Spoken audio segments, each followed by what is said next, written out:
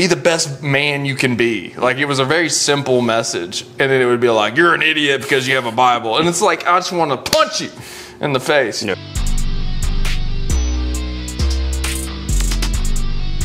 I don't remember joy being something that was talked about in church a whole lot when I was growing up. Joy. It was the name of the Christmas series here, what, mm. two years ago, I. Yeah. Think. The Green. Mm-hmm. It was two years ago. Mm. Um, yeah, I don't remember it much. I grew up Methodist, though. And so, if I'm being real, real, real honest with you, I couldn't tell you what one message was ever about Oh, really? growing up. Because it's all very like ritual. It's mm. kind of how it feels. Mm. Like, you know, at what point in the service we're at, you know, what's coming next. It's all in your like mm. worship God deal and it's your bulletin, I guess is what they were mm-hmm. called, church mm-hmm. bulletins, except it wasn't a bulletin, it was just like an order of service. Mm. It's like Apostles' Creed, Lord's Prayer. He's going to talk for 10 minutes. We're going to sing these three songs mm. you know, it was just very like mm. bang, bang, bang. I don't, I don't, I went for 15 years, 14 years of my life, and then with my dad every now and then after that. I don't remember one message. Nothing ever stands out as impactful to me, That's wild. Uh, especially joy though. That's crazy. Uh, we I was wasn't this church. I was uh, when I was active duty. I went to a church down in Biloxi, Mississippi. Um, it's called Church of the King. Um, there was Pastor Steve. Uh, he brought a message, and it was Christmas. It was like right before Christmas. And he was like, "It's going to be a message about joy." And so we were thinking about you know bullet points about you know Holy Spirit, you know about how to be happy in times when you shouldn't be happy, all these things. And he comes out and he just basically just does a comedy stand up just he just gets up there with his like his mic and he just goes through like a whole like comedy routine basically. And we were just sitting there dying laughing because this guy he's like a pretty serious dude. And so to, for him to get up there and be like hey we're talking about joy tonight and just give us a stand-up comedy routine we were just sitting there dying laughing because it was it's it's always i think it's like um, uh, the the, ha- the the funniness comes from like expecting something one way Yeah. and then getting not getting that It's like the And- bait and switch. yeah, yeah. So it's like kind of reminds me of like the Marvel movies where they have they're, they were so serious for so long. It seemed like there was like you know jokes here and there, and then all of a sudden Thor Ragnarok comes out, and Yeah. it's the exact opposite of what you think a And Marvel then, movie would be. uh, Guardians of the Galaxy Guardians of the the Galaxy, same way. Yeah, except for the last one. It was sad. Um, you gotta have a little heart in there as well, though. You gotta Yeah. pull a little heart in. But it was just it was it was so awesome because seeing somebody who's like so serious or a movie series that's so serious, then all of a sudden they hit you with like, eh, whatever. I don't really care. Yeah, I'm a pastor, but you know, these funny things happen to me in my life. You're like, well, that's that's relatable. That's uh, something that you can relate to, and uh, it was just it was funny. It was an, it brought up me and Jay. I have no clue. I don't remember any of the jokes that he made, but it was an it was an awesome uh, Christmas series, and I, I'll probably never forget that he just stood up there and did a comedy routine. Did he? Were there points that he made? Yeah, yeah, basically like kind of the same points that everybody makes, but he just did them like very quickly. Like uh, he was just like, you know, joy comes from the Holy Spirit. Um, you can have you can be happy in times where you shouldn't be. Um, just like a couple, like he just like you, a pastor would expand on those, but he was just like, here it is. Okay, now let's tell some let's tell some funny jokes that kind of align with uh, Yeah. those points. But yeah, it was it was pretty awesome. But I do have a verse Okay. We can shoot shoot with. Um, it says it is Isaiah fifty five twelve. You will live in joy and peace. The mountains and his hills will burst. Mountains and hills will burst into song, and the trees of the field will clap their hands. And so the question to me to be asked is: Does God promise joy? Yeah, I, I think so. If you look at um, what is it, John fifteen eleven, these things I've spoken to you, that my joy may be in you, and that your joy may be full. Hmm. I, yeah, and fruit of the spirit, joy is one of them. Yeah. I think that he does promise joy. I think he promises it. He creates us with a, a capacity we talked about last week, and then the fullness comes from him. And so, yes, I do think that he promises the fullness of joy. I don't think. I think for us though, we have to to understand that God's ways are not our ways. Mm. And so, what does that mean for joy? Mm. Does it mean that we're just going to all the time be happy? Mm. Probably not. But that joy is a different thing. Like it's a, a the ability to call upon God, the ability to lean into Him, to be sustained in dark and treacherous times and trials and painful situations. Um, I don't think it's always the same as like a comedy routine that makes you happy for a moment. Yeah, no, I agree 100%. And, and Isaiah is speaking to um, the Israelites, but he's giving a prophetic message. And so he's saying, This will happen to you. He said, You will live in joy and peace. And he's talking about Jesus coming. So he's talking about in the time that we live in now, after Jesus has come and he's ascended into heaven, you will have joy and peace. Um, you might not be going through it right now. It's kind of a tough situation that you're in, but whenever Jesus comes, you'll be filled with the Holy Spirit. You will have joy. You will have peace. And the mountains and the hills will burst into song, and the trees in the field will clap their hands. Think about what an incredible time we live in. So, the Old Testament, God descends and impacts on the people around him. There's different points on, on on the people that we're reading about in that moment. Jesus is here. He's in one place. He has a great impact, but he's in one place. So unless you're in his presence, that impact isn't immediate to you. right. But we live in a time period in human history where we are all individually impacted 24 7 by the Holy Spirit. That's an absolutely incredible, like, if you really think about the, the essence of God impacting people, we live in the greatest period of time in history for that impact because we get to live our life with the Spirit living within us if we make that decision to follow Him. It's really incredible. I haven't really thought about it till. Yeah, yeah. So yeah, me and JC were kind of working through this last night, and she was thinking like, it's it's prophetic. It's it's something that's going to happen, and those those people in that time who read it and heard it, they didn't they weren't able to receive that. They were No. like, we're looking forward to that, and we are the generation and all past, present, or the near past. Those people who we've all be able to and have that happen to our lives and um, be able to experience that, which a lot of people in the past they didn't get to experience that. Yeah, Ed Young um, has the quote he says all the time. I don't know if it's his or if he took it from somewhere else, but he said the Old Testament is the New Testament concealed, New Testament is Old Testament revealed.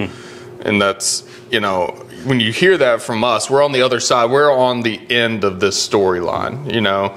We're moving towards the end of days, and we are inside of this period where the Holy Spirit lives with among us, and it's revealed the full prophecy of the Old Testament already. We live in this space now so we see the full revelation outside of the end time um, of the Old Testament playing out. That's pretty crazy to Yeah. think about. Like, I don't know. That really just kind of boggled my mind a little Yeah. bit. That's good. Um, I have another verse that I want to let's, let's let's read it through and then we can talk about it. Okay. This is uh, Jesus speaking. It says then this is Luke six. Jesus turned to his disciples and said, "Blessed are those who are poor, for the kingdom of God is yours. Blessed are those who are hungry now, for you will be satisfied. Blessed are those who weep now, for in due time you will laugh. What blessings await you when you, when people hate you and exclude you and mock you and curse you as evil because you follow the Son of Man. When that happens, be happy. Leap for joy, for a great reward awaits you in heaven. And remember, their ancestors treated them and ancient prophets that same way. What does that? Uh, what does that verse mean to you? What is that? Uh, whenever you hear those words from Jesus, what are you thinking about in, in that moment? The end of it made me think of this. It made me think of commenters online. Um, Commenters, commenters. not commenters. Yeah. like people who are comment. Comment. Commenters. ENT, commenters, Okay, yeah. gotcha. But who will comment on like videos of faith, like, oh, you're stupid for believing that, oh, you're this, oh, that's crazy, you can't believe these things. And even people who are flawed in their theology arguing with different aspects that we discuss at times. And um, Oh, when we first started putting stuff on the appointment page, you know, it's whenever you have no followers, and we don't have a lot still, but when you have none, you're like a target, you know, because the comments are visible. There's one, two a video, and so it's like you're not gonna miss them. Hmm. You know, you hear like famous people be like, "Yeah, I'm a post and ghost kind of guy." I was like, hey, "You can do that when there's eight thousand Yeah, yeah, people yeah. commenting and liking on your video, or eighty thousand, or eight million, whatever." When there's five, you can't really miss them because you get the notification on your phone. It's just Yeah, like, like, ding, oh. you got a comment. Um, and so I remember like the first couple, I would read them and I would be so frustrated because it would be something that was so like the conversation would just be like be the best man you can be. Like it was a very simple message, and then it would be like, "You're an idiot because you have a Bible," and it's like I just want to punch you in the face. Yeah. And there were times probably in the beginning that I commented back like I was punching someone in the face. Um, but over time, it's become every time I read one, I think through where that person might be. Um, I first look and see if their profile's anything worth responding to. It could just be a troll, but Yeah. um, and then I respond. I try to respond in ways that are like, "Thank you for taking the time to comment. Here's the Bible for why we said what we said mm. and what it means and where it comes from. Mm. I hope you'll watch the whole video for context and then move on." Mm. That's I think a, a very small example Sure. of of that where it's like that person's not causing physical harm or pain or anything, and it's not. I'm you're not in danger from the commenter really, but the way you respond could have a drastic impact on that person. Um, in in this moment, you know, when he's talking about this, think about like people who don't have a relationship with Jesus who are just mad.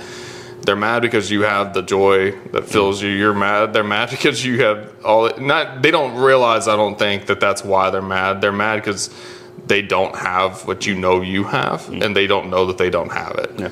Um, And so for him, he's like, hey, like Yeah. don't be rash to these people. Like, be kind to them. Be open to them. And I think that that's something as as believers we definitely need to get better at. Um, is having those conversations when people want to shout you down. It seems like it's really common now for even big name pastors and things to just be like. They're essentially a reverse troll on the internet. Someone comments something and they use it as fuel to like fire up a base. And it's like that's not the whole point. The whole point is to help that person to come to know Jesus. I don't think you calling them an idiot yeah. is going to do that. Yeah, I think uh, when you go back and look at the words, um, Jesus saying like to kind of the remedies um, for for sadness. Um, he's like, blessed are those who are poor. He's like, people who are poor probably don't have the best, you know, but the kingdom of God is theirs. So be joyful in that. Um, blessed are those who are hungry now. I'm like, if you're hungry and you're going through, you're in a rough situation where you're not able to get food, or you're not able to have a job, or not, you're going through you have disability where you can't work. And It's like, blessed are those who are hungry now, because you will be satisfied. Blessed are those who weep now. In due time, you will laugh. And God's like, "Ble- you're blessed because of these things, but in just wait, and you will be satisfied. You will not be hungry. You will. The kingdom of God is yours." So he's saying like, all these people are going through this rough situations and the rough patches in their life, and God's like, just give it time, lean into me, and trust in me. I am the antidote to these things, mm. and it's, it brings me a lot of joy because I know I've gone through situations in my life where it's been just rough and hard, and God's like, hey, lean into me. You will be satisfied. You will laugh. You will. Um, people will uh, exclude you because you're my follower, and they're not going to want to hang out with you, and they're not, and they're going to talk trash back, back behind your back. But leap for joy Or to your face. or to your face, but leap for joy in those moments. So I think it's it's, it's a good reminder uh, that um, Jesus is there for you, and uh, He's going to make every, make the wrongs right. But in, in that verse, and uh, think about this way too, though. So he, he will provide for those who are hungry. He will provide for those who are poor. He will do these things as he promises. Remember in the Old Testament when the Israelites are wandering through the wilderness, they're hungry, and God provides food, and then they complain about the food. Yep. They're, they're upset about the fact that they just have manna. Bread falls from heaven, and they're mad about it. Yeah. But you know, in our life, I think there's times where we we exclude joy in our own life because we're in pursuit of this other thing that God doesn't have for us. It's not that's not for you. You're supposed to be over here doing this thing. He's provided this path and this way for you out of this this situation. That doesn't mean that he's providing a way for everybody to become Bezos and like be a multi-billionaire. That's not uh, what I'm saying. But whenever he does provide manna, when he does give you food to eat, like be grateful in those moments. Um, you know what's funny is I was thinking, um, so I, I had a job change and I went from making decent money to making a lot less. And I was thinking back to like when I first got out of college and like first got married and it's like I didn't realize I was poor. I was broke in reality. Like the fact that I paid my bills was pretty incredible. But like at that time I didn't realize it because I didn't have this like other aspiration, I didn't have this other taste if you will for like more expensive things in life. I was just happy that I had a car, a house, food and my dogs had food. Like that was literally all I cared about at the time. And then as you grow, you know, you begin to kind of drift into this other Mm-hmm. if you grow in your income, then you're going to drift into these other lifestyles and you're going to make decisions based on new incomes and things. But in reality, you were never unhappy. Mm-hmm. I was never unhappy being broke. I didn't really realize I was broke. Looking back, I know I was broke. And the it's amazing that we survived, but you don't really know that whenever you're in the moment. And I think we get out of whack when we're talking about provision because we think, "Oh, he's got to provide a way for me to be healthy, wealthy, and whatever the other word is. Wise. Is that what it is? Healthy, wealthy, and wise. Healthy, wealthy, and wise. You may not be any of those things. you may be unhealthy for a reason. You may be unwealthy for a reason, and you may be unwise for a reason. I think you can constantly grow in your wisdom. Yeah, there's a there's a spot in my life where too I would look back and uh, when I was uh, first joined the Air Force, and if you know you're in the military or have a spouse or family member who has ever been an enlisted member and just joined, you don't make a lot of money. Yeah. But uh, they gave me a, I moved out of my mom's house. They gave me like a little dorm room to live in. I barely had enough to uh, get a loan on a car that I could pay. For, a whole paycheck basically went to the car. Yeah. I was just in a little. It was probably a hundred square foot dorm room that I lived in and had my own bathroom, and I was the happiest. Like I was the happiest dude it could be. Like I, I miss no my. I miss my first house. I was, we were talking about this the other day. It was kind of a crappy house. It was kind of just in the middle of Yeah. across from a trailer park. Like, but I miss it the other day. I was thinking about. It. I was like, Yeah. it'd be nice to go back and just like have a cheap house payment and just like exist. We never felt unsafe. It was never a problem. We never had any issues. We moved out of like, oh, we we're, we're doing all right now. We should we should move up. Sure. Like, and you know. Always dangling that carrot, chasing that carrot. Yeah. Yeah, it, looking back, at we actually couldn't tell you why we moved. Um, but it's funny. I mean, we're happy with our house now and everything, of course. But it's just the things we think we need and the things that we think we overlook the provision that God has already m given us and made a way for in our life in pursuit of this other thing that's a selfish desire. Like the Israelites were, they had provision to survive. God had provided them. He's providing them a promised land and they can't even fully grasp that whenever they get there. And he continues to provide for them. They continue to, to, to take it upon themselves to go a different direction with it. And there's always a consequence. And in our own life, it continues to this day. Like joy can be found in the Lord if you pursue him and to follow his desire for your life. You only know that if you lean in, you study his word, you pray, and you, you spend time with him um, to allow him to discern and to make those decisions in your life. But if you will lean into those, the provision is great. Like the response that you gain whenever you find yourself in alignment with God's will for your life and you've submitted to that will, you'll find joy and things work out. Like I don't mean to sound super No, do. woo woo, No, but they do. it They do. It works out for some reason. And anytime you find yourself out of alignment with Him and His will for your life, I feel like there's a stressor to make things work. Um, when we started the podcast, I we were talking the other day actually about it, and I was saying that like I'm constantly thinking about like other podcast ideas or other things we could do or make or whatever. And you know, I've tried some and they don't work. And they're a stressor to make. They're a stressor to to produce. They're a stressor to come up with content for. And I think it's because I'm not supposed to do them. Hmm. Like it, I we never sit down to do this one, and I'm like, what are we going to talk? Like I, I have zero fear of us turning on the cameras and mics and starting because I feel like something is going to come, and it always has. We've literally never had one where we're sitting here like. I don't know what we're going to say next. like it, it always works itself out because I think we're supposed to do it. And if we weren't supposed to do it, we would get to the point where it's like, all right, well, that's enough of that, and we would stop. But you have to be in tune with what he's asking you to do, and when you enter that will, there's there's something powerful about it. No, I 100% agree with you. And uh, tonight is uh, this will come out way after that, but it's our last semester night appointment, and I was supposed to work tonight, but I'm looking on the schedule yesterday. I'm getting off early. How that happens? Random? No, no way.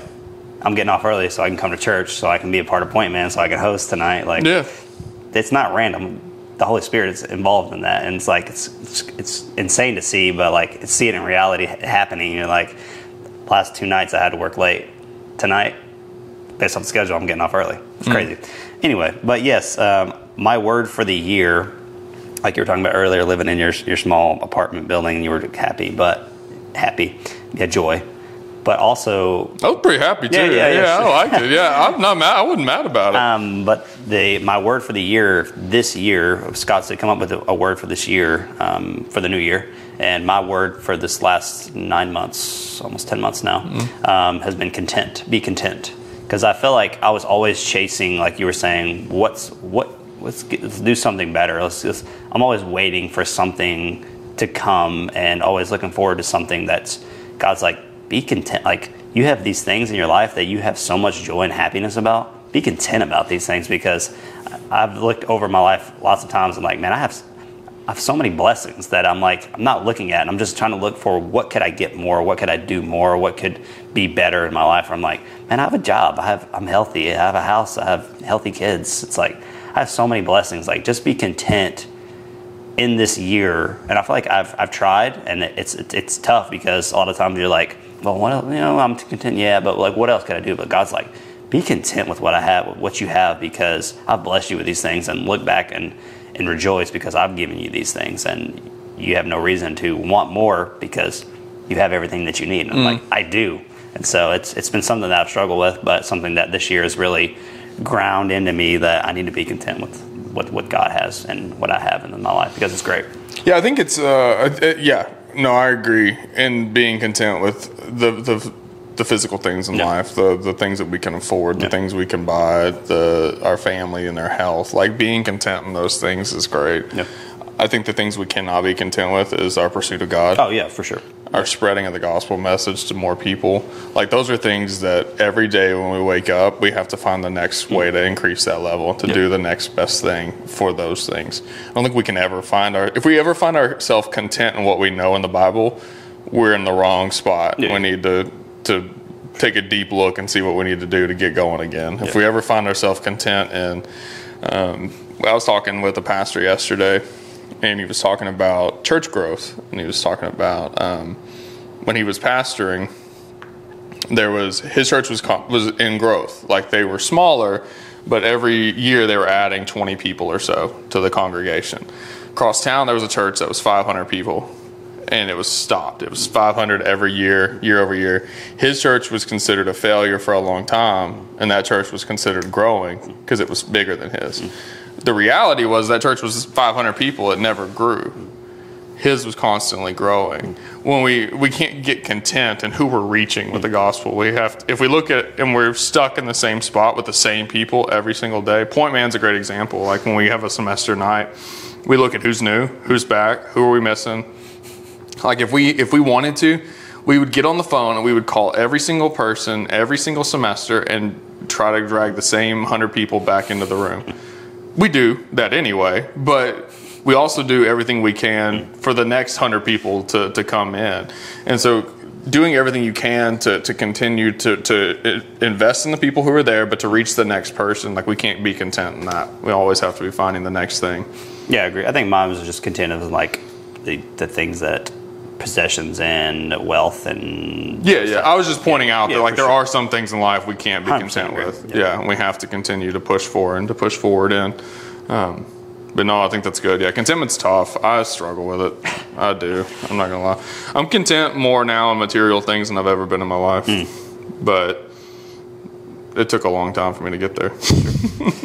Yeah, and then the last point I had was uh, we talked about on the last podcast, but separating joy from uh, happiness. Um, two different things. Um, Psalms 41 says, "Oh, the joys of those who are kind to the poor! The Lord rescues them when they are in trouble. The Lord protects them and keeps them alive. He gives them prosperity in the land and rescues them from their enemies. The Lord nurses them when they are sick and restores them to health."